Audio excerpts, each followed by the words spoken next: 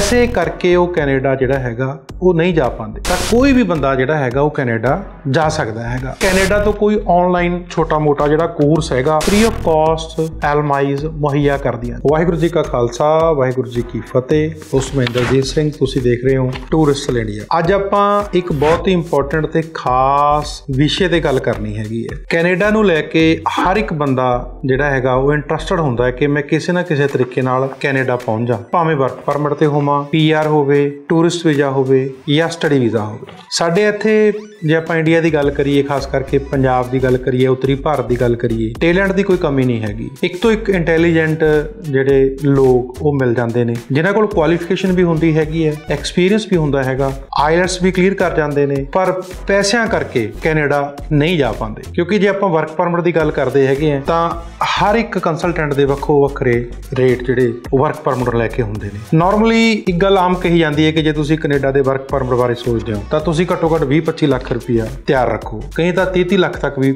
ਮੰਗ ਲੈਂਦੇ ਨੇ। ਸੋ ਉਸ ਕਰਕੇ ਜਿਹੜੇ ਇੰਟੈਲੀਜੈਂਟ ਨੇ, ਜਿਹੜੇ ਪੜ੍ਹਨ ਲਿਖਣ ਵਾਲੇ ਬੱਚੇ ਨੇ, ਜਿਹੜੇ ਸਕਿਲਡ ਹੈਗੇ ਨੇ, ਜਿਨ੍ਹਾਂ ਦੇ ਪੱਲੇ ਬਹੁਤ ਕੁਝ ਹੈ, ਪੈਸੇ ਕਰਕੇ ਉਹ ਕੈਨੇਡਾ ਜਿਹੜਾ ਹੈਗਾ, ਉਹ ਨਹੀਂ ਜਾ ਪਾਉਂਦੇ। ਬਹੁਤ ਸਾਰੀ ਇਨਕੁਆਰੀਜ਼ ਆਉਂਦੀਆਂ ਨੇ, ਬੜੇ ਸਾਰੇ ਲੋਕ ਪੁੱਛਦੇ ਹੈਗੇ ਆ ਕਿ ਕੋਈ ਇਸ ਤਰ੍ਹਾਂ ਦਾ ਪ੍ਰੋਗਰਾਮ ਦੱਸੋ, ਕੋਈ ਇਸ ਤਰ੍ਹਾਂ ਦੀ ਸਕੀਮ ਦੱਸੋ ਕਿ ਘੱਟ ਤੋਂ ਘੱਟ ਪੈਸਿਆਂ ਦੇ ਵਿੱਚ ਜਿਹੜਾ ਸਾਡੀ ਪਹੁੰਚ ਦੇ ਵਿੱਚ ਹੋਵੇ, ਅਸੀਂ ਕੈਨੇਡਾ ਪਹੁੰਚ ਸਕੀਏ। ਸੋ ਉਸੇ ਵਿਸ਼ੇ ਤੇ ਮੈਂ ਅੱਜ ਇੱਕ ਵੀਡੀਓ ਲੈ ਕੇ ਆਉਣ ਲੱਗਿਆ ਕਿ ਜੇ ਤੁਸੀਂ ਮਿਹਨਤ ਕਰ ਸਕਦੇ ਹੈਗੇ ਹੋ, ਜੇਕਰ ਤੁਸੀਂ ਥੋੜੀ ਵਾਲੀ ਜਿਹੜੀ ਮਗਜਮਾਰੀ ਕਹਿ ਦਿੰਨੇ ਆਪਾਂ, ਮੱਥਾ ਪੁੱਛੀ ਕਰ ਸਕਦੇ ਹੋ, ਤਾਂ ਕੋਈ ਵੀ ਬੰਦਾ ਜਿਹੜਾ ਹੈਗਾ ਉਹ ਕੈਨੇਡਾ ਜਾ ਸਕਦਾ ਹੈਗਾ। ਕਿਵੇਂ? ਸਭ ਤੋਂ ਪਹਿਲਾਂ ਤੁਹਾਨੂੰ ਪਤਾ ਹੋਣਾ ਚਾਹੀਦਾ ਕਿ ਕੈਨੇਡਾ ਵਰਕ ਪਰਮਿਟ ਲਈ ਕਿਹੜੀਆਂ-ਕਿਹੜੀਆਂ ਸ਼ਰਤਾਂ ਜਿਹੜੀਆਂ ਉਹ ਲਾਜ਼ਮੀ ਨੇ, ਹਨਾ? ਜਿਵੇਂ ਆਪਾਂ ਨਾਰਮਲ ਗੱਲ ਕਰ ਲਈਏ ਕਿ ਤੁਹਾਡੀ ਜਿਹੜੀ ਕੁਆਲੀਫਿਕੇਸ਼ਨ ਹੈ ਉਹ ਘੱਟੋ ਘੱਟ ਪਲੱਸ 2 ਹੋਣੀ ਚਾਹੀਦੀ ਹੈਗੀ ਫਿਰ ਤੁਹਾਨੂੰ ਕਿਸੇ ਵੀ ਲਾਈਨ ਦੇ ਵਿੱਚ 2 ਤੋਂ 3 ਸਾਲ ਦਾ ਐਕਸਪੀਰੀਅੰਸ ਹੋਵੇ, ਤੁਹਾਡੀ ਉਮਰ ਜਿਹੜੀ 45 ਸਾਲ ਤੋਂ ਘੱਟ ਹੋਵੇ, ਤੁਹਾਡੇ ਕੋਲ ਮਿਨੀਮਮ ਇੰਗਲਿਸ਼ ਯਾਨੀ ਕਿ ਘੱਟੋ ਘੱਟ 5 ਬੈਂਡ ਜ਼ਰੂਰ ਹੋਣ। ਸੋ ਇਹ ਮਿਨੀਮਮ ਰਿਕੁਆਇਰਮੈਂਟ ਹੈ। ਮੈਕਸਿਮਮ ਨਹੀਂ ਹੈਗੀ। ਇਹ ਮਿਨੀਮਮ ਰਿਕੁਆਇਰਮੈਂਟ ਹੈ। ਇਸ ਰਿਕੁਆਇਰਮੈਂਟ ਤੇ ਤੁਸੀਂ ਕੈਨੇਡਾ ਤੋਂ ਕਿਸੇ EMPLOYER ਤੋਂ ਜੌਬ ਆਫਰ ਲੈ ਕੇ, ਜਿਹਨੂੰ ਪਹਿਲਾਂ ਹੀ ਇਹ ਕਹਿੰਦੇ ਹੈਗੇ ਆ, ਤੁਸੀਂ ਕੈਨੇਡਾ ਜਾਣ ਦਾ ਆਪਦਾ ਸੁਪਨਾ ਜਿਹੜਾ ਹੈਗਾ, ਉਹ ਪੂਰਾ ਕਰ ਸਕਦੇ ਹੋ। ਈਵਨ ਕਿ ਜੇ ਤੁਸੀਂ ਗ੍ਰੈਜੂਏਟ ਹੈਗੇ ਹੋ ਪੋਸਟ ਗ੍ਰੈਜੂਏਟ ਹੈਗੇ ਹੋ, ਔਰ ਤੁਸੀਂ 6 ਸੀਜ ਬੈਂਡ ਲਿਜਾ ਸਕਦੇ ਹੋ, ਜਰਨਲ ਦੇ ਵਿੱਚ, ਔਰ ਤੁਹਾਡੇ ਕੋਲ 3 ਸਾਲ ਦਾ ਐਕਸਪੀਰੀਅੰਸ ਹੈ, ਤਾਂ ਤੁਸੀਂ ਡਾਇਰੈਕਟ ਪੀਆਰ ਦੀ ਫਾਈਲ ਵੀ ਇੰਡੀਆ ਤੋਂ ਲਾ ਸਕਦੇ ਹੋ। ਜ਼ਿਆਦਾਤਰ ਲੋਕ 歌。ਜਿਹੜੀ ਇੰਡੀਆ ਵਾਲੀਆਂ ਸ਼ਰਤਾਂ ਨੇ, ਇਹਦਾ ਪੂਰੀਆਂ ਕਰ ਦਿੰਦੇ ਨੇ। ਲਾਈਕ ਕੁਆਲੀਫਿਕੇਸ਼ਨ ਵੀ ਹੁੰਦੀ ਹੈ ਐਕਸਪੀਰੀਅੰਸ ਵੀ ਹੁੰਦਾ ਹੈਗਾ ਆਈਲੈਟਸ ਵੀ ਕਰ ਲੈਂਦੇ ਹੈਗੇ ਨੇ। ਏਜ ਵੀ 45 ਸਾਲ ਤੋਂ ਘੱਟ ਹੁੰਦੀ ਹੈਗੀ ਹੈ। ਗਰਾਰੀ ਫਸਦੀ ਹੈਗੀ ਹੈ ਜਾ ਕੇ ਜੌਬ ਆਫਰ ਤੇ ਐਲਐਮਆਈ ਤੇ। ਸੋ ਜੌਬ ਆਫਰ ਤੁਸੀਂ ਕਿਵੇਂ ਲੈ ਸਕਦੇ ਹੈਗੇ? ਸੋ ਇਸੇ ਤੇ ਮੇਰੀ ਅੱਜ ਦੀ ਜਿਹੜੀ ਵੀਡੀਓ ਹੈਗੀ ਹੈ, ਉਹ ਹੋਣ ਵਾਲੀ ਹੈ। ਸਭ ਤੋਂ ਪਹਿਲਾਂ ਤਾਂ ਤੁਸੀਂ ਦੋਸਤੋ, ਇੱਥੇ ਆਪਦੀ ਕੁਆਲੀਫਿਕੇਸ਼ਨ ਬਣਾਓ ਇੰਡੀਆ ਦੇ ਵਿੱਚ। ਯਾਨੀ ਕਿ ਤੁਸੀਂ ਪਲੱਸ 2 ਦਾ ਘੱਟੋ ਘੱਟ ਹੋਵੋ ਜੇ ਗ੍ਰੈਜੂਏਟ ਪੋਸਟ ਗ੍ਰੈਜੂਏਟ ਹੈਗੇ ਹੋ, ਫਿਰ ਤਾਂ ਕੀ ਬਾਤ ਹੈ। ਇਸ ਤੋਂ ਇਲਾਵਾ ਤੁਹਾਡੀ ਮਿਨੀਮਮ ਜਿਹੜੀ ਇੰਗਲਿਸ਼ ਸਕਿੱਲ ਹੈਗਾ, ਉਹ ਜ਼ਰੂਰ ਹੋਣਾ ਚਾਹੀਦਾ। ਤੁਸੀਂ 5 5.5 6 ਬੈਂਡ ਤੱਕ ਜ਼ਰੂਰ ਲੈ ਕੇ ਜਾਓ। ਫਿਰ ਕਿਸੇ ਵੀ ਫਰਮ ਦੇ ਵਿੱਚ, ਕਿਸੇ ਵੀ ਥਾਂ ਤੇ, ਜਿਸ ਥਾਂ ਦੀ ਜਿੱਥੇ ਯਾਨੀ ਕਿ ਤੁਹਾਨੂੰ ਜੌਬ ਆਫਰ ਮਿਲ ਸਕੇ, ਜਿਸ ਕੈਟਾਗਰੀ ਦੇ ਵਿੱਚ, ਉਸ ਕੈਟਾਗਰੀ ਦਾ ਤੁਹਾਡੇ ਕੋਲ ਵਰਕ ਐਕਸਪੀਰੀਅੰਸ ਹੋਣਾ ਜ਼ਰੂਰੀ ਹੈ। ਤੇ ਉਮਰ ਦਾ 45 ਸਾਲ ਤੋਂ ਨੇਚਰਲੀ ਹੈ ਕਿ ਘੱਟ ਹੋਏਗੀ ਹੋਏਗੀ। ਤੁਸੀਂ ਕਿਸੇ ਵੀ ਕੰਟਰੀ 'ਚ ਬੈਠੇ ਹੋ, ਮੈਂ ਸਿਰਫ ਇੰਡੀਆ ਦੀ ਗੱਲ ਨਹੀਂ ਕਰ ਰਿਹਾ। ਤੁਸੀਂ ਯੂਕੇ ਬੈਠੇ ਹੋ, ਤੁਸੀਂ ਆਸਟ੍ਰੇਲੀਆ ਬੈਠੇ ਹੋ, ਤੁਸੀਂ ਸਿੰਗਾਪੁਰ ਬੈਠੇ ਹੋ, ਕਿਸੇ ਮਿਡਲ ਈਸਟ ਕੰਟਰੀ 'ਚ ਬੈਠੇ ਹੋ, ਤੁਸੀਂ ਕਿਤੋਂ ਬਹਿ ਕੇ ਵੀ ਆਪ ਦਾ ਜਿਹੜਾ ਸੁਪਨਾ ਹੈਗਾ ਕੈਨੇਡਾ ਜਾਣ ਦਾ, ਉਹ ਪੂਰਾ ਕਰ ਸਕਦੇ ਹੈਗੇ ਜਦੋਂ ਆਪਾਂ ਦੋਸਤੋ ਪੀਆਰ ਦੀ ਫਾਈਲ ਲਾਂਚ ਕਰਦੇ ਹੈਗੇ ਹਨ, ਤਾਂ ਪੀਐਨਪੀ ਦੇ ਵਿੱਚ ਕੀ ਹੁੰਦਾ ਹੈ ਕਿ ਤੁਹਾਡਾ ਸਕੋਰ ਕਾਊਂਟ ਕੀਤਾ ਜਾਂਦਾ ਹੈ, ਕਿ ਤੁਹਾਡਾ ਕਿੰਨਾ ਸਕੋਰ ਹੈਗਾ। ਇਸੇ ਤਰ੍ਹਾਂ ਹੀ ਜਿਹੜੀ ਦੂਜੀ ਕੈਟਾਗਰੀ ਹੈਗੀ ਹੈ, ਠੀਕ ਹੈ, ਉਹਦੇ ਵਿੱਚ ਤੁਹਾਨੂੰ ਸੀਆਰਐਸ ਕੈਲਕੂਲੇਟ ਕਰਨਾ ਪੈਂਦਾ ਹੈ। ਤੁਸੀਂ ਕਦੇ ਜੇ ਆਪਦਾ ਸੀਆਰਐਸ ਯਾਨੀ ਕਿ ਸਕੋਰ ਕੈਲਕੂਲੇਟ ਕੀਤਾ ਹੋਏਗਾ, ਉਹ ਜਦੋਂ ਆਪਾਂ ਆਨਲਾਈਨ ਜਾ ਕੇ ਸੌਫਟਵੇਅਰ ਦੇ ਥਰੂ ਆਪਦਾ ਸੀਆਰ ਜਿਹੜਾ ਹੈਗਾ ਕੈਲਕੂਲੇਟ ਕਰਦੇ ਹੈਗੇ ਉਹਦੇ ਵਿੱਚ ਕਈ ਤਰ੍ਹਾਂ ਦੇ ਸਵਾਲ ਪੁੱਛਦਾ ਹੈਗਾ ਤੁਹਾਨੂੰ ਲਾਈਕ ਤੁਹਾਡੀ ਕੁਆਲੀਫਿਕੇਸ਼ਨ ਕੀ ਹੈ? ਤੁਸੀਂ ਗ੍ਰੈਜੂਏਟ ਹੋ ਪੋਸਟ ਗ੍ਰੈਜੂਏਟ ਹੈਗੇ ਹੋ, ਤੁਹਾਡਾ ਐਕਸਪੀਰੀਅੰਸ ਕਿੰਨਾ ਤੁਹਾਡੀ ਏਜ ਕਿੰਨੀ ਹੈਗੀ ਹੈ? ਤੁਹਾਡੀ ਇੰਡੀਆ ਦੇ ਵਿੱਚ ਕੀ ਐਜੂਕੇਸ਼ਨ ਹੈ? ਤੁਹਾਡੀ ਕੈਨੇਡਾ ਦੇ ਵਿੱਚ ਕੀ ਐਜੂਕੇਸ਼ਨ ਹੈਗੀ ਹੈ? ਔਰ ਕੀ ਤੁਹਾਡਾ ਕੋਈ ਬਲੱਡ ਰਿਲੇਸ਼ਨ ਕੈਨੇਡਾ 'ਚ ਹੈ? ਸੋ ਹਰ ਇੱਕ ਚੀਜ਼ ਦੇ ਤੁਹਾਨੂੰ ਪੁਆਇੰਟ ਮਿਲਦੇ ਜਾਂਦੇ ਤੁਹਾਡੇ ਨੰਬਰ ਜਿਹੜੇ ਹੈਗੇ ਨੇ, ਉਹ ਵੱਧਦੇ ਜਾਂਦੇ ਨੇ। ਸੋ ਇਸ ਕਰਕੇ ਸਭ ਤੋਂ ਪਹਿਲਾਂ ਤਾਂ ਜਿਹੜੀ ਤੁਹਾਡੀ ਇੰਡੀਆ ਜਾਂ ਕਿਸੇ ਹੋਰ ਕੰਟਰੀ ਦੀ ਕੁਆਲੀਫਿਕੇਸ਼ਨ ਹੈ, ਉਹ ਤਾਂ ਹੈ ਹੀ ਹੈ। ਕੋਸ਼ਿਸ਼ ਕਰੋ ਕਿ ਤੁਸੀਂ ਬਿਨਾਂ ਜਾਇਆਂ ਤੋਂ ਕੈਨੇਡਾ ਤੋਂ ਵੀ ਕੋਈ ਛੋਟੀ-ਮੋਟੀ ਡਿਗਰੀ ਜਾਂ ਡਿਪਲੋਮਾ ਤੁਸੀਂ ਆਨਲਾਈਨ ਕਰ ਸਕਦੇ ਹੈਗੇ ਮੈਂ ਤੁਹਾਨੂੰ ਇੱਕ ਗੱਲ ਕਿਹਾ ਵੀ ਜੇ ਤੁਸੀਂ ਆਪਦੇ ਪੈਸੇ ਬਚਾਉਣਾ ਚਾਹੁੰਦੇ ਹੋ, ਫਿਰ ਤੁਹਾਨੂੰ ਮਿਹਨਤ ਕਰਨੀ ਪਏਗੀ, ਫਿਰ ਤੁਹਾਨੂੰ ਟਾਈਮ ਲਾਣਾ ਪਏਗਾ, ਫਿਰ ਤੁਸੀਂ ਟਾਈਮ ਦੀ ਪਰਵਾਹ ਨਾ ਕਰੋ ਕਿ ਸਾਨੂੰ ਕਿੰਨਾ ਟਾਈਮ ਲੱਗਦਾ ਹੈਗਾ। ਫਿਰ ਤੁਹਾਨੂੰ ਦਿਲ ਲਾ ਕੇ ਆਪਣਾ ਸਾਰਾ ਕੁਝ ਇਸੇ ਚੀਜ਼ ਤੇ ਹੀ ਝੋਕਣਾ ਪੈਣਾ ਹੈ ਕਿ ਕਿਸ ਤਰ੍ਹਾਂ ਮੈਂ ਆਪਦਾ ਜਿਹੜਾ ਕੈਨੇਡਾ ਦਾ ਵਰਕ ਪਰਮਿਟ ਜਾਂ ਪੀਆਰ ਜਿਹੜੀ ਹੈਗੀ ਹੈ, ਉਹ ਲੈ ਸਕਦਾ। ਸੋ ਜੇਕਰ ਤੁਹਾਡੀ ਇੰਡੀਆ ਜਾਂ ਕਿਸੇ ਹੋਰ ਕੰਟਰੀ ਤੋਂ ਤੁਹਾਡੀ ਕੁਆਲੀਫਿਕੇਸ਼ਨ ਹੋ ਚੁੱਕੀ ਹੈ, ਤੁਹਾਡੇ ਕੋਲ ਆਈਲੈਟਸ ਆ ਚੁੱਕਿਆ ਤੁਹਾਡਾ ਐਕਸਪੀਰੀਅੰਸ ਵੀ ਹੈਗਾ ਤੁਸੀਂ ਕੀ ਕਰਨਾ ਹੈ ਕਿ ਤੁਸੀਂ ਕੋਸ਼ਿਸ਼ ਕਰੋ ਕਿ ਕੈਨੇਡਾ ਤੋਂ ਕੋਈ ਆਨਲਾਈਨ ਛੋਟਾ-ਮੋਟਾ ਜਿਹੜਾ ਕੋਰਸ ਹੈਗਾ, ਉਹ ਲੈ ਸਕਦੇ ਹੋ। ਮੇਰੇ ਹੱਥ 'ਚ ਮੈਂ ਆ ਜਿਹੜੇ ਪੇਪਰ ਨੇ, ਇਸੇ ਚੀਜ਼ ਦੇ ਨੇ। ਇਹਦੇ ਵਿੱਚ ਮੈਂ ਤੁਹਾਨੂੰ ਕੁਝ ਯੂਨੀਵਰਸਿਟੀਆਂ ਦੇ ਨਾਂ ਜਿਹੜੇ ਹੈਗਾ, ਉਹ ਸੁਜੈਸਟ ਕਰ ਸਕਦਾ ਹੈ ਕਿ ਜਿਹੜੇ ਤੁਹਾਨੂੰ ਘਰ ਬੈਠੇ, ਤੁਸੀਂ ਦੁਨੀਆ ਦੇ ਕਿਸੇ ਵੀ ਕੋਨੇ 'ਚ ਬੈਠੇ ਹੋ, ਉੱਥੇ ਤੁਹਾਨੂੰ ਇਹ ਕੋਰਸ ਜਿਹੜੇ ਹੈਗੇ ਨੇ, ਇਹ ਮੁਹੱਈਆ ਹੋ ਸਕਦੇ ਨੇ, ਹਨਾ? ਜਿਵੇਂ ਕਿ ਕੈਨੇਡਾ ਇੰਟਰਨੈਸ਼ਨਲ ਕੈਰੀਅਰ ਕਾਲਜ ਹੈਗਾ ਆਨਲਾਈਨ ਕੋਰਸ ਜਿਹੜਾ ਹੈਗਾ, ਇਹ ਆਫਰ ਕਰਦਾ ਹੈ। ਕੋਰਸ ਬਹੁਤ ਤਰ੍ਹਾਂ ਦੇ ਨੇ, ਤੁਸੀਂ ਇਹਨਾਂ ਦੀ ਵੈਬਸਾਈਟ ਤੇ ਜਾ ਕੇ ਦੇਖ ਸਕਦੇ ਹੋ। ਤੁਹਾਡੀ ਸਕਿੱਲ ਕਿਹੜੇ ਪਾਸੇ ਹੈਗੀ ਹੈ? ਤੁਸੀਂ ਕਿਸ ਕੈਟਾਗਰੀ ਦੇ ਵਿੱਚ ਜਾਣਾ ਚਾਹੁੰਦੇ ਹੋ। ਠੀਕ ਹੈ? ਇਸ ਤਰ੍ਹਾਂ ਦੇ ਬਹੁਤ ਸਾਰੀਆਂ ਇੰਸਟੀਚਿਊਟਸ ਨੇ ਜਿਹੜੀਆਂ ਆਨਲਾਈਨ ਕੋਰਸ ਤੁਹਾਨੂੰ ਮੁਹੱਈਆ ਕਰਦੀਆਂ ਨੇ। ਕੈਨੇਡਾ ਔਰ ਕਾਲਜ ਹੈਗਾ ਆਨਲਾਈਨ ਆਈਐਲਏਸੀ ਕਾਲਜ ਹੈਗਾ ਟੂਰਿਜ਼ਮ ਕਾਲਜ ਮੋਹਬਾ ਕਾਲਜ ਹੈਗਾ। ਲਿੰਕਡਨ ਬਹੁਤ ਵੱਡਾ ਪਲੇਟਫਾਰਮ ਹੈਗਾ ਜਿਹੜਾ ਤੁਹਾਨੂੰ ਆਨਲਾਈਨ ਕੋਰਸਸ ਕੈਨੇਡਾ ਦੇ ਵਿੱਚ ਤੁਹਾਨੂੰ ਮੁਹੱਈਆ ਕਰਦਾ ਹੈਗਾ। ਇਸ ਤੋਂ ਇਲਾਵਾ Canada school of public service Canadian security institute institute of Alberta online Canadian virtual university CUV Centennial college online learning Canada e school Queen's university continually and distant studies ਇਸ ਤੋਂ ਇਲਾਵਾ ਦੋਸਤੋ, ਹੋਰ ਵੀ ਬਹੁਤ ਸਾਰੇ ਇੰਸਟੀਚਿਊਟਸ ਯੂਨੀਵਰਸਿਟੀਜ਼ ਤੇ college ਤੁਹਾਨੂੰ ਮਿਲ ਜਾਣਗੇ, ਜਿਹੜੇ ਤੁਹਾਨੂੰ ਆਨਲਾਈਨ ਕੋਰਸ ਮੁਹੱਈਆ ਕਰਦੇ ਨੇ। ਸੋ ਕੋਰਸ ਜਿਹੜੇ ਨੇ, ਉਹਨਾਂ ਦੀ ਅਵਧੀ ਅਲੱਗ-ਅਲੱਗ ਹੋ ਸਕਦੀ ਹੈ। ਕੋਈ ਕੋਰਸ 3 ਮਹੀਨੇ ਦਾ ਹੋ ਸਕਦਾ ਹੈ, ਕੋਈ 6 ਮਹੀਨੇ ਦਾ ਹੋ ਸਕਦਾ, ਕੋਈ ਸਾਲ ਦਾ ਹੋ ਸਕਦਾ ਹੈ, ਕੋਈ 2 ਸਾਲ ਦਾ ਹੋ ਸਕਦਾ ਇਸ ਨਾਲ ਹੋਏਗਾ ਕੀ?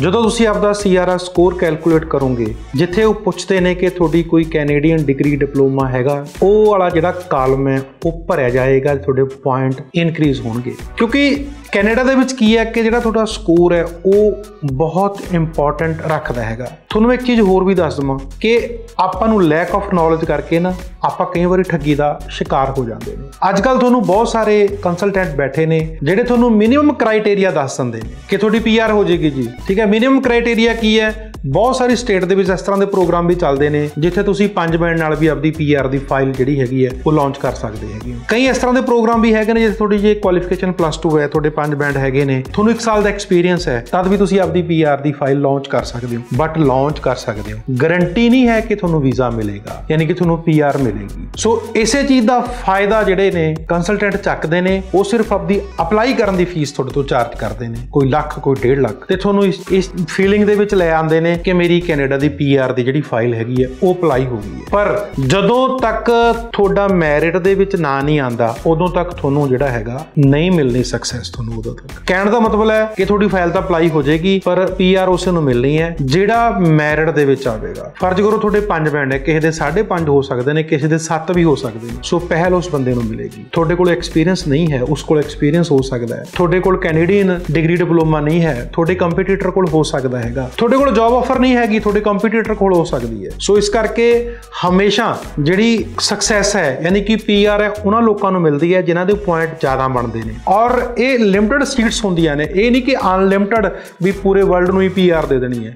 ਕਦੇ 500 ਫੈਲਾਂ, ਕਦੇ 1000 ਕਦੇ 5000 ਕਦੇ 10000 ਪਰ ਉਸ ਦੇ ਵਿੱਚ ਉਹੀ ਲੋਕ ਹੀ ਫਿੱਟ ਹੁੰਦੇ ਨੇ ਜਿਨ੍ਹਾਂ ਦੀ ਮੈਰਿਟ ਬਣਦੀ ਹੈ। ਸੋ ਇਸ ਕਰਕੇ ਆਪਦੀ ਕੁਆਲੀਫਿਕੇਸ਼ਨ ਬਣਾਓ। ਠੀਕ ਹੈ ਜੀ? ਔਰ ਅਗਲੀ ਮੈਂ ਜਿਹੜੀ ਪੁਆਇੰਟ ਤੇ ਆਣ ਲੱਗਿਆ ਐਲਐਮਆਈ ਹੁਣ ਤੁਹਾਡੀ ਕੁਆਲੀਫਿਕੇਸ਼ਨ ਬਣ ਚੁੱਕੀ ਹੈ। ਤੁਹਾਡਾ ਐਕਸਪੀਰੀਅੰਸ ਵੀ ਇੰਡੀਆ ਤੋਂ ਹੈਗਾ। ਤੁਸੀਂ ਕੈਨੇਡੀਅਨ ਆਨਲਾਈਨ ਡਿਪਲੋਮਾ ਡਿਗਰੀ ਵੀ ਲੈ ਲਈ ਹੈਗੀ ਹੈ। ਅੱਗੇ ਜਾ ਕੇ ਗੱਲ ਅੜਦੀ ਹੈਗੀ ਹੈ ਐਲਐਮਆਈ ਤੇ ਜੌਬ ਆਫਰ ਤੇ। ਜਿਸ ਦੀ ਕਿ ਕਾਸਟ ਬਹੁਤ ਜ਼ਿਆਦਾ ਹੁੰਦੀ ਹੈ। ਜੇ ਆਪਾਂ ਮਾਰਕੀਟ ਦੇ ਵਿੱਚ ਗੱਲ ਕਰੀਏ 10000 ਡਾਲਰ ਤੋਂ ਲੈ ਕੇ 60 60 70 70000 ਡਾਲਰ ਤੱਕ ਲੋਕ ਐਲਐਮਆਈ ਦਾ ਚਾਰਜ ਕਰ ਲੈਂਦੇ ਨੇ। ਔਰ ਐਲਐਮਆਈ ਤੋਂ ਬਿਨਾ ਤੁਹਾਡੇ ਸੀਆਰਐਸ ਸਕੋਰ ਜਾਂ ਤੁਹਾਡਾ ਪੁਆਇੰਟ ਸਿਸਟਮ ਜਿਹੜਾ ਹੈਗਾ, ਉਹ ਨਹੀਂ ਬਣਦਾ। ਤੁਹਾਨੂੰ ਪੀਆਰ ਵੀ ਨਹੀਂ ਮਿਲਦਾ। ਤੇ ਤੁਹਾਨੂੰ ਵਰਕ ਪਰਮਿਟ ਵੀ ਜਿਹੜਾ ਨਹੀਂ ਮਿਲਦਾ। ਸੋ ਜਿਸ ਤਰ੍ਹਾਂ ਮੈਂ ਤੁਹਾਨੂੰ ਆਨਲਾਈਨ ਕੋਰਸ ਜਿਹੜੇ ਸੁਜੈਸਟ ਕੀਤੇ ਨੇ, ਇਸੇ ਤਰ੍ਹਾਂ ਹੀ ਕੁਝ ਇਸ ਤਰ੍ਹਾਂ ਦੇ ਪਲੇਟਫਾਰਮਸ ਹੈਗੇ ਨੇ, ਜਿੱਥੋਂ ਤੁਸੀਂ ਆਨਲਾਈਨ ਆਪਣੇ ਐਕਸਪੀਰੀਅੰਸ ਦੇ ਮੁਤਾਬਕ ਐਲਐਮਆਈਏ ਜਾਂ ਜੌਬ ਸਰਚ ਵੀ ਕਰ ਸਕਦੇ ਹੈਗੇ ਹੋ। ਦੋਸਤੋ, ਤੁਹਾਨੂੰ ਜਾਣ ਕੇ ਬੜੀ ਹੈਰਾਨੀ ਤੇ ਖੁਸ਼ੀ ਹੋਏਗੀ ਕਿ ਬਹੁਤ ਸਾਰੇ ਇਸ ਤਰ੍ਹਾਂ ਦੇ ਪੋਰਟਲਸ ਹੈਗੇ ਨੇ। ਬਹੁਤ ਸਾਰੀਆਂ ਇਸ ਤਰ੍ਹਾਂ ਦੀ ਵੈਬਸਾਈਟਸ ਨੇ, ਜਿਹੜੀਆਂ ਤੁਹਾਨੂੰ ਫ੍ਰੀ ਆਫ ਕਾਸਟ ਐਲਐਮਆਈਜ਼ ਮੁਹੱਈਆ ਕਰਦੀਆਂ ਨੇ। ਬਟ ਉਸ ਤਰ੍ਹਾਂ ਦੀ ਐਲਐਮਆਈ ਲੈਣ ਵਾਸਤੇ ਤੁਹਾਨੂੰ ਉਸ ਲੈਵਲ ਦਾ ਹੋਣਾ ਪਏਗਾ। ਤੁਹਾਨੂੰ ਮੱਥਾ ਮਾਰਨਾ ਪਏਗਾ, ਤੁਹਾਨੂੰ ਮਗਜਮਾਰੀ ਕਰਨੀ ਪਏਗੀ, ਤੁਹਾਨੂੰ ਕੰਪਿਊਟਰ ਨਾਲ ਜਿਹੜਾ ਹੈਗਾ ਬਹੁਤ ਜ਼ਿਆਦਾ ਮਿਹਨਤ ਕਰਨੀ ਪਏਗੀ। ਮੈਂ ਤੁਹਾਨੂੰ ਹੁਣ ਇਸ ਤਰ੍ਹਾਂ ਦੇ ਬਹੁਤ ਸਾਰੇ ਪੋਰਟਲ ਜਿੰਨੇ ਕਿ ਮੈਨੂੰ ਪਤਾ, ਇਸ ਤੋਂ ਵੀ ਜ਼ਿਆਦਾ ਹੋ ਸਕਦੇ ਨੇ। ਜਿੰਨੇ ਕਿ ਮੇਰੀ ਨੌਲੇਜ ਦੇ ਮੁਤਾਬਕ ਪਲੇਟਫਾਰਮ ਹੈਗੇ ਨੇ, ਉਹ ਮੈਂ ਤੁਹਾਨੂੰ ਇਸ ਕਰਕੇ ਮੁਹੱਈਆ ਕਰਾ ਰਿਹਾ, ਇਸ ਕਰਕੇ ਦੱਸ ਰਿਹਾ ਤਾਂ ਕਿ ਕਿਸੇ ਨਾ ਕਿਸੇ ਨੂੰ ਤਾਂ ਫਾਇਦਾ ਹੋਵੇ। ਜੇ ਮੇਰੀ ਵੀਡੀਓ ਬਣਾਈ ਦਾ ਕੋਈ 5-10 ਲੋਕ ਵੀ ਫਾਇਦਾ ਲੈ ਸਕਣ, ਤਾਂ ਮੇਰੇ ਲਈ ਇਹ ਖੁਸ਼ਕਿਸਮਤੀ ਹੋਏਗੀ। ਸੋ ਆਪਾਂ ਅੱਜ ਗੱਲ ਕਰਦੇ ਹਾਂ ਕਿ ਕਿਹੜੀ ਕਿਹੜੀ ਵੈਬਸਾਈਟ ਤੇ ਜਾ ਕੇ ਤੁਸੀਂ free of cost LMI search ਕਰ ਸਕਦੇ ਹੋ। ਮੇਰੇ ਕਹਿਣ ਦਾ ਮਤਲਬ ਇਹ ਨਹੀਂ ਕਿ ਉਸ ਤੇ ਅਵੇਲੇਬਲ ਹੈ ਪਈ ਹੈ, ਤੁਹਾਨੂੰ ਮਿਲੇ ਜਾਣੀ ਹੈ, ਤੁਹਾਨੂੰ ਮਿਹਨਤ ਕਰਨੀ ਪੈਣੀ ਹੈ। ਤੁਹਾਨੂੰ ਆਪਦਾ ਐਕਸਪੀਰੀਅੰਸ ਤੁਹਾਨੂੰ ਆਪਦਾ ਰਿਜ਼ਿਊਮ ਤੁਹਾਨੂੰ ਅਕੈਡਮਿਕ ਸਾਰੇ ਮੇਲ ਕਰਨੇ ਪੈਣੇ ਉਹਨਾਂ ਨੂੰ। ਬਾਰ-ਬਾਰ ਤੁਹਾਨੂੰ ਚੈੱਕ ਕਰਨਾ ਪੈਣਾ। ਜੇ ਤੁਸੀਂ 20 ਜਗ੍ਹਾ ਦੇ ਟਰਾਈ ਕਰੋਗੇ, ਤਾਂ ਤੁਹਾਨੂੰ ਇੱਕ ਤੋਂ ਜਾ ਕੇ ਸਕਸੈਸ ਮਿਲਣੀ ਹੈਗੀ ਹੈ। ਸੋ ਬਹੁਤ ਸਾਰੇ ਲੋਕ ਇਸ ਤਰ੍ਹਾਂ ਕਰ ਚੁੱਕੇ ਨੇ ਤੇ ਫ੍ਰੀ ਆਫ ਕਾਸਟ ਐਲਐਮਆਈ ਜਿਹੜੀ ਲੈ ਚੁੱਕੇ ਐਲਐਮਆਈ ਦੀ ਕਾਸਟ ਕਿਵੇਂ ਪੈਦਾ ਹੁੰਦੀ ਹੈ? ਐਲਐਮਆਈ ਦੀ ਕਾਸਟ ਹੁੰਦੀ ਹੈ ਜਦੋਂ EMPLOYER ਤੇ ਕਲਾਇੰਟ ਦੇ ਵਿੱਚ ਵਿਚੋਲਾ ਆ ਜੇ ਯਾਨੀ ਕਿ ਕੰਸਲਟੈਂਟ ਆ ਜੇ, ਕੋਈ ਵਕੀਲ ਆ ਜੇ, ਉਦੋਂ ਐਲਐਮਆਈ ਦੀ ਕਾਸਟ ਵੱਧ ਜਾਂਦੀ ਹੈ। ਜਦੋਂ ਕਿ ਜਿਹੜਾ EMPLOYER ਹੁੰਦਾ, ਖਾਸ ਕਰਕੇ ਜਿਹੜੇ ਗੋਰੇ EMPLOYER ਹੁੰਦੇ ਨੇ, ਉਹ ਜੈਨੂਨ ਹੀ ਹੁੰਦੇ ਨੇ, ਉਹ free of cost LMI provide ਕਰਦੇ ਨੇ। ਪਰ ਕੁਝ ਆਪਣੇ ਲੋਕ ਕੁਝ ਲਾਲਚੀ ਲੋਕ ਕੁਝ ਕੰਸਲਟੈਂਟ ਜਦੋਂ ਵਿੱਚ ਪੈ ਜਾਂਦੇ ਨੇ, ਤਾਂ ਉਹ ਕਹਿੰਦੇ ਨੇ ਕਿ 10000 ਡਾਲਰ ਤੈਨੂੰ ਦਵਾ ਦਾਂਗੇ 20000 ਮੈਂ ਰੱਖ ਲੈਣਾ 30000 ਦੀ ਅੱਗੇ ਵੇਚ ਦਾਂਗੇ। ਸੋ ਜੇਕਰ ਤੁਸੀਂ ਜਿਹੜਾ ਵਿੱਚ ਵਾਲਾ ਫਾਸਲਾ ਹੀ ਖਤਮ ਕਰ ਦੋ ਡਾਇਰੈਕਟ EMPLOYER ਲੱਭ ਲਓ, ਤਾਂ ਤੁਸੀਂ ਫ੍ਰੀ ਆਫ ਕਾਸਟ ਐਲਐਮਆਈ ਲੈ ਸਕਦੇ ਹੋ। ਸੋ ਕਿਹੜੇ ਕਿਹੜੇ ਉਹ ਪਲੇਟਫਾਰਮ ਨੇ ਜੇ ਤੁਸੀਂ ਫ੍ਰੀ ਆਫ ਕਾਸਟ ਐਲਐਮਆਈ ਲੈ ਸਕਦੇ ਹੋ। ਲਿੰਕਡਨ ਲਿੰਕਡਨ ਬਹੁਤ ਵਧੀਆ ਪਲੇਟਫਾਰਮ ਹੈ। ਤੁਹਾਨੂੰ ਵਰਤਣਾ ਆਉਣਾ ਚਾਹੀਦਾ ਜੇ ਤੁਸੀਂ ਲਿੰਕਡਨ ਤੇ ਜਾ ਕੇ ਆਪਦੀ ਪ੍ਰੋਫਾਈਲ ਪਾ ਦੋਗੇ, ਆਪਦਾ ਰਿਜ਼ਿਊਮ ਪੋਸਟ ਕਰ ਦੋਗੇ, ਤਾਂ ਤੁਸੀਂ ਲਿੰਕਡਨ ਤੋਂ ਵੀ ਐਲਐਮਆਈ ਲੈ ਸਕਦੇ ਹੋ। Workpool jobs to web Jobboom jobs indeed iluta canada jobs canadianvisa.org all star jobs naukri.com job bank so ਇਹ ਇਸ ਤਰ੍ਹਾਂ ਦੇ ਪੋਰਟਲ ਨੇ ਜਿੱਥੇ ਜੌਬਸ ਅਵੇਲੇਬਲ ਹੁੰਦੀਆਂ ਨੇ। ਸੋ ਤੁਸੀਂ ਇੱਕ ਤੇ ਮਿਹਨਤ ਨਾ ਕਰੋ। ਇਸ ਤਰ੍ਹਾਂ ਦੇ ਹੋਰ ਵੀ ਬਹੁਤ ਸਾਰੇ ਪੋਰਟਲ ਹੋਣਗੇ, ਹੋਰ ਵੀ ਬਹੁਤ ਸਾਰੀਆਂ ਵੈਬਸਾਈਟਸ ਹੋਣਗੀਆਂ। ਸੋ ਮੇਰੇ ਕਹਿਣ ਦਾ ਮਤਲਬ ਹੈ ਦੋਸਤੋ ਕਿ ਜੇ ਤੁਸੀਂ ਆਪਣੇ ਆਪ ਤੇ ਮਿਹਨਤ ਕਰਦੇ ਹੈਗੇ ਹੋ, ਜੇ ਤੁਸੀਂ ਇੰਟੈਲੀਜੈਂਟ ਹੈਗੇ ਹੋ, ਤੁਹਾਨੂੰ ਸਾਰਾ ਕੁਝ ਇਹ ਯੂਜ਼ ਕਰਨਾ ਆਂਦਾ ਹੈ। ਸੋਸ਼ਲ ਮੀਡੀਆ ਤੁਸੀਂ ਹੈਂਡਲ ਕਰ ਸਕਦੇ ਹੋ, ਤਾਂ ਤੁਸੀਂ ਫ੍ਰੀ ਆਫ ਕਾਸਟ ਐਲਐਮਆਈ ਲੈ ਸਕਦੇ ਹੋ। ਫ੍ਰੀ ਆਫ ਕਾਸਟ ਤੁਸੀਂ ਸਿਰਫ ਅੰਬੈਸੀ ਫੀਸ ਭਰ ਕੇ ਔਰ ਟਿਕਟ ਲਾ ਕੇ ਕੈਨੇਡਾ ਜਿਹੜਾ ਹੈਗਾ, ਉਹ ਪਹੁੰਚ ਸਕਦੇ ਹੈਗੇ ਹੋ। ਆਪਾਂ ਜੇ ਕੋਰਸਾਂ ਦੀ ਗੱਲ ਕਰਦੇ ਤੇ ਕਾਸਟ ਦੀ ਗੱਲ ਕਰਦੇ ਹੈਗੇ ਆ, ਜਿਹੜਾ ਕੋਰਸ ਦੀ ਕਾਸਟ ਹੈ ਦੋਸਤੋ ਇਹ ਕਾਲਜ ਔਰ ਯੂਨੀਵਰਸਿਟੀ ਤੇ ਡਿਪੈਂਡ ਕਰਦਾ ਹੈ। ਸੋ ਮੈਂ ਕਿਹੜੀ ਕਾਸਟ ਹੈ ਇੱਥੇ ਐਕਸਪਲੇਨ ਜਿਹੜਾ ਹੈਗਾ, ਉਹ ਨਹੀਂ ਕਰ ਸਕਦਾ। ਜਿਹੜੇ ਤੁਸੀਂ ਆਨਲਾਈਨ ਕੋਰਸ ਕਰਦੇ ਹੋ, ਉਹਦੇ ਨਾਲ ਤੁਹਾਡੀ ਓਨਲੀ ਕੁਆਲੀਫਿਕੇਸ਼ਨ ਹੀ ਵਧ- ਨਹੀਂ ਵਧੇਗੀ। ਕਈ ਵਾਰੀ ਕਾਲਜ ਯੂਨੀਵਰਸਿਟੀ ਜਾਂ ਇੰਸਟੀਚਿਊਟ ਤੁਹਾਨੂੰ ਅਪ੍ਰੈਂਟਿਸਸ਼ਿਪ ਵੀ ਆਫਰ ਕਰ ਸਕਦੀ ਹੈਗੀ ਹੈ। ਔਰ ਜਿਹੜੀ ਅਪ੍ਰੈਂਟਿਸਸ਼ਿਪ ਹੈ, ਉਹ ਹੋ ਸਕਦਾ ਕੈਨੇਡਾ ਦੇ ਵਿੱਚ ਹੋਵੇ। ਆਨਲਾਈਨ ਵੀ ਹੋ ਜਾਂਦੀ ਹੈ ਤੇ ਕਿ ਤੁਹਾਨੂੰ ਕੈਨੇਡਾ ਬੁਲਾ ਕੇ ਵੀ ਅਪ੍ਰੈਂਟਿਸਸ਼ਿਪ ਕਰਨ ਦਾ ਜਿਹੜਾ ਮੌਕਾ ਹੈਗਾ, ਉਹ ਦੇ ਸਕਦੇ। ਜੌਬ ਜੇ ਤੁਸੀਂ ਲੈਣਾ ਚਾਹੁੰਦੇ ਹੋ, ਸਭ ਤੋਂ ਪਹਿਲਾਂ ਤੁਹਾਡੇ 'ਚ ਵਿਲ ਪਾਵਰ ਹੋਣੀ ਚਾਹੀਦੀ ਕਿ ਮੈਂ ਇਹ ਜੌਬ ਲੈ ਸਕਦਾ। ਤੁਹਾਡਾ ਸੈਲਫ ਕੌਨਫੀਡੈਂਸ ਜਿਹੜਾ ਹੈਗਾ ਉਹ ਹੋਣਾ ਚਾਹੀਦਾ। ਉਸ ਵਾਸਤੇ ਤੁਸੀਂ ਕੀ ਕਰਨਾ ਹੈਗਾ? Proper resume proper academic proper experience ਤੇ ਹੋਰ ਵੀ ਇਸ ਤਰ੍ਹਾਂ ਦੀਆਂ ਚੀਜ਼ਾਂ ਤੁਸੀਂ ਆਪਦੇ ਰਿਜ਼ਿਊਮ 'ਚ, ਆਪਦੇ ਪੋਰਟਫੋਲੀਓ 'ਚ ਰੱਖ ਸਕਦੇ ਹੋ ਜਿਸ ਨੂੰ ਦੇਖ ਕੇ EMPLOYER ਜਿਹੜਾ ਹੈਗਾ ਉਹ ਇੰਪ੍ਰੈਸ ਹੁੰਦਾ ਹੈ ਔਰ ਤੁਹਾਨੂੰ ਫ੍ਰੀ ਆਫ ਕਾਸਟ ਐਲਐਮਆਈ ਜਿਹੜੀ ਹੈਗੀ ਆਫਰ ਕਰਦਾ ਹੈ। ਮੈਂ ਇਸ ਵੀਡੀਓ ਦੇ ਵਿੱਚ ਹੋਰ ਵੀ 5-7 ਪੁਆਇੰਟ ਜਿਹੜੇ ਹੈਗੇ ਨੇ ਉਹ ਬੋਲਣਾ ਚਾਹੁੰਦਾ ਸੀਗਾ ਬਟ ਸਮੇਂ ਦੀ ਘਾਟ ਕਾਰਨ ਇਸ ਵੀਡੀਓ 'ਚ ਪੁਆਇੰਟ ਮੈਂ ਨਹੀਂ ਬੋਲ ਸਕਦਾ। ਨੈਕਸਟ ਵੀਡੀਓ ਦੇ ਵਿੱਚ ਆਪਾਂ ਸਾਰਾ ਕਵਰ ਕਰਾਂਗੇ। ਸੋ ਮੈਂ ਉਮੀਦ ਕਰਦਾ ਹਾਂ ਕਿ ਮੇਰੇ ਦੁਆਰਾ ਦਿੱਤੀ ਹੋਈ ਜਾਣਕਾਰੀ ਤੋਂ ਤੁਸੀਂ ਸੰਤੁਸ਼ਟ ਹੋਵੋਗੇ। ਮੈਂ ਹਮੇਸ਼ਾ ਹੀ ਆਪਣੇ ਵੱਲੋਂ ਇੱਕ ਕੋਸ਼ਿਸ਼ ਕਰਦਾ ਹੁੰਦਾ ਕਿ ਵੱਧ ਤੋਂ ਵੱਧ ਲੋਕਾਂ ਤੱਕ ਸਹੀ ਜਾਣਕਾਰੀ ਜਿਹੜੀ ਹੈਗੀ ਹੈ, ਉਹ ਪਹੁੰਚਾ ਸਕੀਏ ਤਾਂ ਕਿ ਹਰ ਇੱਕ ਬੰਦੇ ਦਾ ਭਲਾ ਹੋ ਸਕੇ। ਸੋ ਉਮੀਦ ਕਰਦਾ ਵੀਡੀਓ ਅੱਛੀ ਲੱਗੀ ਹੋਵੇਗੀ ਜੇਕਰ ਵੀਡੀਓ ਚੰਗੀ ਲੱਗ ਰਹੀ ਹੈ ਲਾਈਕ ਤੇ ਸ਼ੇਅਰ ਜਰੂਰ ਕਰ ਦਿਓ ਤਾਂ ਕਿ ਵੱਧ ਤੋਂ ਵੱਧ ਲੋਕਾਂ ਤੱਕ ਇਹ ਵੀਡੀਓ ਪਹੁੰਚ ਸਕੇ। ਜਿਹੜੇ ਪਹਿਲੀ ਵਾਰੀ ਮੇਰੀ ਵੀਡੀਓ ਦੇਖ ਰਹੇ ਹੋ ਔਰ ਤੁਹਾਨੂੰ ਵਧੀਆ ਲੱਗ ਰਹੀ ਹੈ, ਮੇਰਾ ਚੈਨਲ ਸਬਸਕ੍ਰਾਈਬ ਜਰੂਰ ਕਰ ਲਿਓ ਬੈਲ ਦਾ ਬਟਨ ਦਬਾ ਦਿਓ। ਫੇਸਬੁੱਕ ਤੇ ਲਾਈਕ ਕਰ ਦਿਓ ਔਰ ਇੰਸਟਾ ਤੇ ਸਾਨੂੰ ਫਾਲੋ ਕਰ ਦਿਓ ਤਾਂ ਕਿ ਇਸ ਤਰ੍ਹਾਂ ਦੀਆਂ ਤੁਸੀਂ ਹੋਰ ਵੀਡੀਓ ਦੇਖ ਸਕੋ। ਸੋ ਵਧੇਰੇ ਜਾਣਕਾਰੀ ਲਈ ਤੁਸੀਂ ਕੁਝ ਵੀ ਪੁੱਛਣਾ ਚਾਹੁੰਦੇ ਹੋ, ਆਪਦੀ ਪ੍ਰੋਫਾਈਲ ਬਾਰੇ ਪੁੱਛਣਾ ਚਾਹੁੰਦੇ ਹੋ, ਔਰ ਤੁਸੀਂ ਕਿਵੇਂ ਜੌਬ ਸਰਚ ਕਰਦੇ ਹੋ, ਪੁੱਛਣਾ ਚਾਹੁੰਦੇ ਹੋ, ਹੋਰ ਵੀ ਕਿਸੇ ਤਰ੍ਹਾਂ ਦੀ ਜਾਣਕਾਰੀ ਤੁਸੀਂ ਲੈਣਾ ਚਾਹੁੰਦੇ ਹੋ ਸਕਰੀਨ ਤੇ ਦਿੱਤੇ ਨੰਬਰਾਂ ਤੇ ਕਾਲ ਜਰੂਰ ਕਰਿਓ ਔਰ ਮੈਂ ਇਹਦੇ ਇੱਕ ਮੇਲ ਵੀ ਜਰੂਰ ਪਾ ਦੂੰਗਾ ਜਿਹੜੇ ਇੰਟਰਸਟਡ ਨੇ। ਤੁਸੀਂ ਯਦੀ ਮੇਰੇ ਨਾਲ ਗੱਲ ਕਰਨਾ ਚਾਹੁੰਦੇ ਹੋ, ਤਾਂ ਮੈਨੂੰ ਮੇਲ ਜਰੂਰ ਕਰਿਓ। ਆਪਦਾ ਰਿਜ਼ਿਊਮ ਈਮੇਲ ਕਰ ਦਿਓ, ਆਪਦੀ ਇਨਕੁਆਇਰੀ ਮੇਲ ਕਰ ਦਿਓ। ਮੈਂ ਕੋਸ਼ਿਸ਼ ਕਰਾਂਗਾ ਤੁਹਾਡੇ ਹਰ ਇੱਕ ਜਿਹੜਾ ਈਮੇਲ ਆ ਉਹਦਾ ਆਨਸਰ ਕਰ ਸਕਾਂ।